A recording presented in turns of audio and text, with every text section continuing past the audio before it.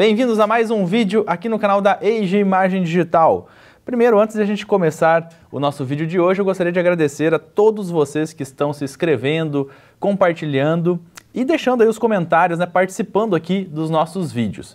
E é muito importante para que o nosso canal cresça, né? Que para você que está chegando agora também, que ainda não conhece, se inscreva no canal, né? Deixe um joinha, compartilhe nas redes sociais para a gente poder fazer com que o canal cresça e que chegue cada vez mais produtos bacana para você aqui no canal da Age Imagem Digital. Hoje a gente vai ver um dos fones mais pedidos aqui que a galera está comentando muito. Hoje a gente vai conhecer um fone da marca Temac. Bora pro vídeo. O vídeo de hoje é sobre essa marca, né? A gente vai conhecer um dos fones da marca Temac. Essa marca tem um site, até já verifiquei lá, já procurei, já pesquisei aí no site deles, é muito legal. Essa marca tem vários modelos, né? Ele tem o IE800, o Piano, o Banjo, o Dulcimer, o Porcelain, o Trio, o Crazy Cello, o Mad Piano e o que a gente vai conhecer hoje aqui, que é o Pro. E quem disponibilizou o fone para a gente fazer este review foi o pessoal lá da The Groove Acessórios, o Michael. É, eu vou deixar na descrição do vídeo aqui o, o site, né, o link do site para você entrar no site da The Groove Acessório e também vou deixar o link direto para a compra deste fone lá no site da The Groove Acessórios. Bora pro vídeo então. Vou começar abrindo, vamos lá. Ó, ele veio fechadinho, então vamos começar com o um unbox, abrindo o fone, abrindo a caixinha aqui. É, na caixinha, né, a gente tem aqui uma caixinha de, de papel bem legal, bem resistente, muito bem acabada, com é, a logo aqui da Tenmac. Aqui embaixo a gente tem as inscrições aqui né, de High Performance Hardphone. Na parte de trás aqui a gente tem é, mais algumas descrições aqui falando a respeito né, uh, do fone em inglês e também em chinês. Vamos abrir vamos ver o que, que tem dentro da caixinha. Aqui, abrindo. Dos fones que a gente já pôde conferir aqui no canal, é um dos que vem mais bem embalado, assim, bem embaladinho, bem legal mesmo. Próximo desses aqui, o que a gente viu, assim, que eu, os que eu vi aqui de uma qualidade legal nesse sentido, foi os da Shure, que a gente já viu aqui no canal. Dentro a gente tem aqui o bagzinho, temos aqui um cartãozinho de garantia, o cartão de garantia. E aqui embaixo a gente tem é, uma outra caixinha aqui destacável onde vem os acessórios aqui, você pode ver. Agora vamos dar uma olhada no que vem dentro então aqui do bagzinho, né? Esse bag de transporte é bem legal, tem algumas marcas que não disponibilizam ele, mas uh, a Temac se preocupou aqui em oferecer né, esse bagzinho de transporte. Aqui a gente tem o bag, então dentro do bag temos o fone, já com o cabo plugado, né? Vamos para a caixinha agora dos acessórios. Aqui na caixinha de acessórios vem as borrachinhas. Vamos ver. É isso aí. E aqui o cartãozinho, cartãozinho de garantia do produto. Bem, vamos abrir aqui o saquinho para tirar as borrachinhas aqui do fone. E é isso aí que vem dentro da caixa do Temac. Eu separei aqui algumas das informações, né, das características técnicas mais importantes que eu vi a respeito do Temac para passar para vocês. Ele é um fone aí que tem uma faixa de frequência de 10 a 20 mil Hz e é um fone que funciona com é, 16 ohms. É, ele é um fone dual drive, ou seja, ele tem em cada lado ele tem dois drives, sendo um de 6 milímetros e um de 9 milímetros. Uma outra característica interessante deste fone é que ele conta com essa conexão, né? ele é um cabo destacável, e ele conta com a conexão MMCX, que é uma conexão aí é, bastante conhecida é, e usado aí nos fones da Shure. Uma outra característica que você pode encontrar nesse fone é a variação de cabo. Nesse, nesse kit aqui ele veio o cabo é, o cabo já sem o, o, microfone, né? Aquele cabo para você usar aí para monitoramento de palco ou para escutar música. Esse fone ele também tem aí na configuração, você pode comprar o cabo com aquele dispositivo para celular, né, para você usar para falar. Então é um microfonezinho que você usa ali para falar, para atender a ligação, para passar música, né? Então é, tem essas duas opções de cabo para esse fone. Ele também tem, eu achei no caso ele em duas cores, né? Aqui no caso a The Groove mandou pra gente esse que é o black, que é o, o preto, né? Mas ele também tem uma versão transparente. Bem, galera, agora eu vou montar o fone, é, vou configurar ele aqui para o meu uso. Então eu vou é, montar, colocar os cabos aqui de volta nele, é, vou dar uma olhada mais de perto, né, na parte de acabamento, tudo. Uh, vou escolher aqui a borrachinha que mais se adequa ao meu ouvido. Vou escutar algumas músicas e daqui a pouquinho eu volto para passar as nossas impressões a respeito deste fone da Temac.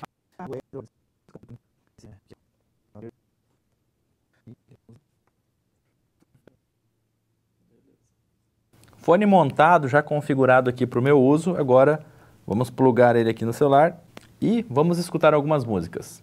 Depois de dar uma olhada mais de perto é, e escutar também algumas músicas né, com esse fone da Temac, o Temac Pro, agora vamos para as considerações aí a respeito é, do fone. Né? Vamos iniciar pelo cabo. É, o cabo uh, eu achei muito legal, ele é um cabo bem liso, é um cabo bem resistente, é, ele não é, ele é bem liso, então ele não enrosca, ele não fica é, aderindo na roupa, é bem fácil de você usar ele. Tem esse tipo de, de plug que eu acho bem legal, que ele é um plug em L. Inclusive ele não é bem L, ele tem uma, é um ângulo um pouquinho diferente, ele não é de, no, de 90 graus, né? Então achei bem bacana é, essa disposição aqui do plug. Fica fácil para você conectar, né? Ele não tem perigo de quebrar, tem esse reforço aqui também na saída para ajudar aí a, na resistência, né? Aqui também né, tem esse reforço aqui, ó, que ele é maleável, mas ele ajuda a, a não quebrar o cabo aqui na, nas emendas, né? Outra coisa bem bacana também deste fone é o tipo de conexão, né? Que é o mesmo tipo de conexão usado pela Shure, como eu já citei aí. É legal porque você pode substituir o cabo, o cabo com uma certa facilidade. Então, você pode usar um cabo da própria Shure, um cabo da Moxpad, tem várias marcas aí que trabalham com essa conexão. Então, se porventura é, o cabo estragar ou se por algum motivo você queira trocar, por exemplo, eu gosto muito dos cabos da Shure, né? Eu tenho alguns cabos da Shure, então se eu for usar, por exemplo, eu posso substituir e usar ele é, com um cabo aí que, de minha preferência. Aqui alguma uma coisinha, um detalhe que eu achei um pouco difícil é que só de um lado ele vem escrito aqui o R, né? Claro que se de um lado está escrito o R, automaticamente do outro lado é o L, mas ele não vem escrito nada do outro lado, ele só tem umas, umas bolinhas aqui, tipo, como se fosse um braille aqui, para identificar o outro lado. É, e uma outra coisa também que dificulta né, a, a, visualização é que no fone não vem escrito nada de L nem de R, então isso dificulta. Você tem que acabar colocando no ouvido, achar o lado certo para depois você plugar o cabo, porque nele não tem nenhuma especificação falando qual que é o lado dele. Agora partindo para a parte do fone, ele mesmo aqui tem uma qualidade muito legal. Eu gostei muito uh, do acabamento dele. Ele é bem pequeno, então a hora que você coloca ele no ouvido, ele não atrapalha, ele é bem confortável. Em relação ao, Mox, ao Moxpad X9, que também tem dois drive, ele é bem menor aqui a, a parte da, da armadura dele, aqui onde ele é alojado os drive. Então isso, a hora que você coloca no ouvido, ele praticamente some, né? não fica aquela coisa aparente e também fica mais confortável, mais difícil de sair, ele encaixa bem no ouvido mesmo. Então a ergonomia dele eu achei bem legal, um ponto forte desse fone. Ele vem aqui dentro com a proteçãozinha aqui, né, que eu acho bem legal também esse tipo de proteção para não entrar sujeira, né, com, com, o tempo pode ir acumulando sujeira, então ele tem essa, essa, essa gradezinha que não deixa a sujeira passar para dentro e facilita também na hora de você limpar. Em relação às, às borrachinhas aqui, é, que é sempre um dilema aqui nos nossos vídeos, né, uh, eu acabei optando pela média, que é a que vem nele já, é, porque a pequena ela não isolou bem o, o áudio, ficou vazando muito áudio externo, né? Então a média acabou é, entrando melhor. A grande não entra no meu ouvido. E essa aqui que eu gostaria de usar, ela que é a que eu mais gosto, que é a de borrachinha expansiva, aquela borracha expansiva, ó, vou apertar ela, aí você solta, ela volta. Essa aqui, o modelo que vem acompanhando, ele só vem um modelo, né? só vem um tamanho. E esse tamanho é muito grande, então eu tentei colocar no meu ouvido, mas não encaixou, não entrou. Ele é muito grande mesmo. Então, isso é, um, é uma coisa que eu não gostei. É, como eu já falei em alguns outros vídeos, seria melhor que eles mandassem outras opções também desse aqui, né? Como, por exemplo, os fones da Shure, ele vem com é, um, um, set de borrachinhas desse silicone aqui comum e vem um set dessa expansiva, que aí você consegue adequar melhor para o seu ouvido, né? É, um outro ponto também bem legal é esse case que acompanha, né? Como eu, eu sempre cito também nos vídeos, o ideal é que você monte o seu fone, então você vai plugar o cabo nele, colocar a borrachinha, você vai enrolar ele e colocar dentro do seu bag de transporte. O restante você não precisa levar junto, né? Porque já que você vai usar, ele já vai estar configurado aí para o seu uso. Então você não precisa carregar as outras borrachinhas junto. E também não precisa ficar desmontando, porque você ficar toda hora clicando, né? Colocando e tirando o cabo dele, pode vir a danificar aqui a conexão, né? Essa conexãozinha que é banhada a ouro, ela pode começar a danificar e você acaba perdendo o seu fone. Se quebrar o cabo, você troca o cabo. Agora, se quebrar o fone, não tem o que fazer, tem que trocar o fone, né? Que é o mais caro. Então, esse bagzinho de transporte ele é muito legal. Achei bacana ele porque ele já vem aqui já personalizado com o nome Temac na frente, com a marca, né? O fecho dele aqui é emborrachado, é bem legal também aqui para você é, abrir e fechar. O zíper é de boa qualidade. Aqui ele tem também uma aletazinha aqui que você pode colocar, né? Prender um, um... Como é que é o nome daquele negócio lá que você usa, Giovanni? Um mosquetão. Você pode prender um mosquetão aqui para você prender na, na, calça, na mochila, né? Dentro aqui ele é bem, bem é, dentro. Tem essa partezinha aqui para você colocar também, né? Outras coisas, se você quiser levar junto aqui, né? As borrachinhas não atrapalhar, você pode colocar aqui nessa telinha, que é bem bacana. Então, no contexto assim, geral, ele é um fone muito bem acabado, é, muito legal, uh, bem discreto também, então quando você coloca no ouvido ele some do ouvido. Eu achei bem bacana mesmo é, nesse contexto aqui de acabamento e de construção dele, é um fone é, de ótima qualidade. Bem, mas agora vamos para o que interessa, né? Ao som que esse fone proporciona para a gente.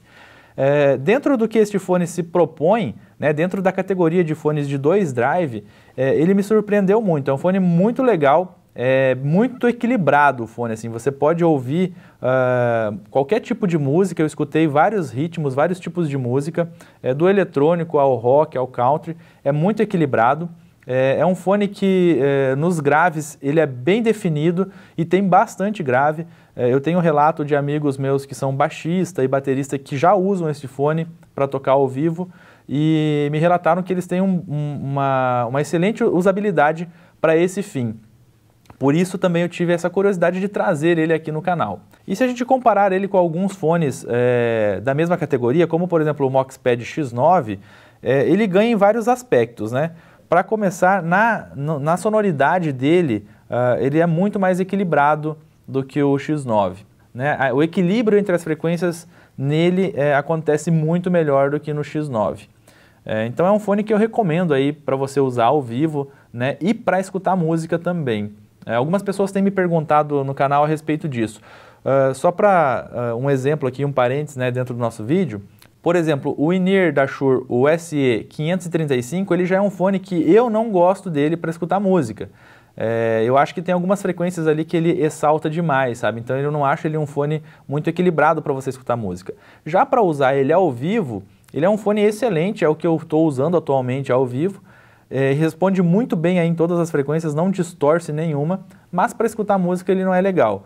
Já esse aqui é um fone que eu acho ele bem bacana, eu acredito que ele vai servir muito bem para esses dois fins, tanto para você escutar música, quanto para você é, monitorar ao vivo ou para você usar, né, no caso com o celular também, se você comprar o outro modelo de cabo. É isso aí, galera. Espero que vocês tenham gostado de mais este vídeo. Se você ficou com alguma dúvida a respeito deste ou de outros vídeos, deixe nos comentários aí que assim que for possível a gente vai respondendo. Se tiver muita pergunta, a gente faz até um vídeo aí especialmente para responder aí as dúvidas de vocês. Continuem ligados no canal porque tem mais atualizações. Não esqueçam de se inscrever né, no nosso canal aqui da Age Imagem Digital. Se inscrevam também no canal da The Groove Acessórios. Lá vocês vão conferir vários acessórios aí para bateria, percussão, para todos os músicos em geral. É, vou deixar o link também do canal aqui na descrição. Vou deixar o link uh, da compra lá no site da The Groove Acessórios para este fone. Sigam também a galera da The Groove Acessórios lá no Instagram e fique ligado no dia da baqueta. É isso aí, tem um dia do mês aí que a galera da The Groove Acessórios vende baquetas a preço de custo, hein? Então fique ligado lá porque vale a pena. Valeu, galera, até o próximo vídeo. Tchau!